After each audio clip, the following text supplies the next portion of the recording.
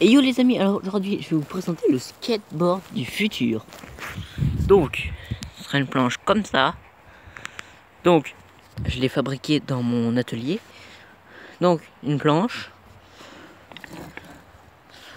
L'arrière, il y a quatre roulettes.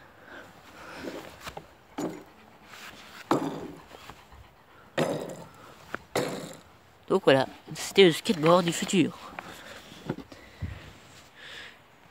Likez cette vidéo car c'est le skateboard du futur qui vous le demande.